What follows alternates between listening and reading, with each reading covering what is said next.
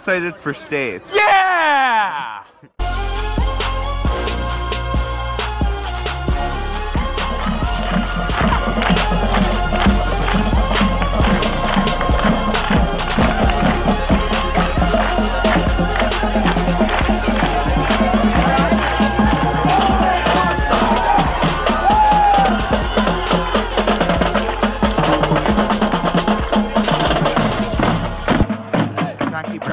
Excited for states? I am super excited to be running at the state championship meet this year. Good. Jackie Bracken's mom, are you excited oh, for states? No. I send it. Mom, are you excited? I'll get it. Oh my god, I'm so excited. Woo! Good afternoon, Central Cambria. I'm Maddie. And I'm Courtney. Today is Friday, November 6th, 2015, and it's day 6 of our weekly schedule. For lunch today, we're having pepperoni pizza. All juniors and seniors, don't forget that if you're interested in joining NHS and qualified to apply, the deadline is today. Please turn all applications into Mrs. Shirk.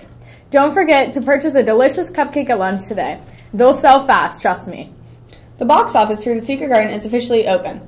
That's right, get your tickets early because they will sell fast. They are only $8 and will be worth every penny. You can order tickets by calling 814-472-8860 extension 700 or email boxoffice at suncam.org. Now over to sports with Jake.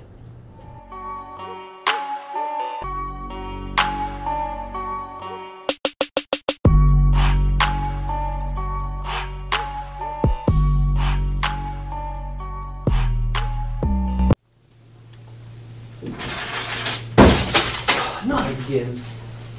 Ah! Whoa, whoa, whoa, whoa, Matt, Matt. Less than two weeks till basketball season. Calm down. Calm down. Calm down. Thanks, Maddie. Good luck to the Courtney Cavalier, Julia Schaefer, and Hannah Swope as they compete in states at Hershey today. Good luck, ladies, and make our school proud. Just a reminder that the football game is not tonight, it's tomorrow at Westmont and begins at 1 p.m. This is the last game, so please come out and support our boys as they finish out their season. Also, good luck to the boys and girls cross country teams as they head over to states in Hershey. Bring back that state title. Now over to a short video featuring the cross country team.